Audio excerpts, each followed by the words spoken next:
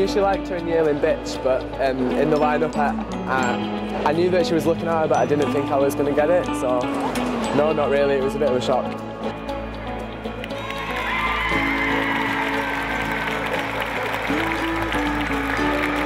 It feels really good. I've never had a best of before, so um, that was pretty big for me today. Um, I've not really took it in yet, to be honest, so I don't really know how I'm feeling going into the main arena later, I don't really know how I feel yet because it's all a bit of a rush at the moment. Um, but no, it's going to be good, I think.